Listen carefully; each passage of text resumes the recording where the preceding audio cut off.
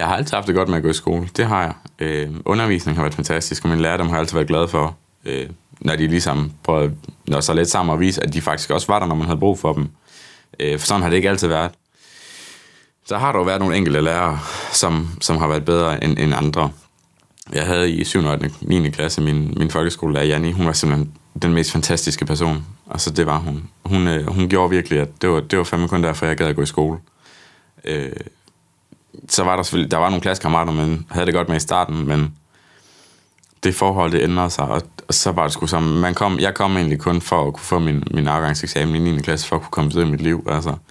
Det, det var sgu egentlig derfor, og jeg har altid været glad for at gå i skole. Så derfor har jeg altid haft det der positive forhold til skolen, at hvis jeg vidste, at der var noget, jeg ville opnå, så skulle man også kæmpe for det. Øhm, og, og nu, nu har jeg jo så også opnået det, jeg gerne vil. Jeg vil jo gerne ind på medicinstudiet i Aarhus, så det, og det kom jeg jo. Og det er jo også, fordi jeg har haft det forhold til min skole, at, at det er noget, jeg virkelig gad øh, tage betragtning af, at det ikke altid har været den første skolegang, jeg har haft. Så, så har jeg opnået det mål, jeg gerne vil, og så er jeg tilfreds.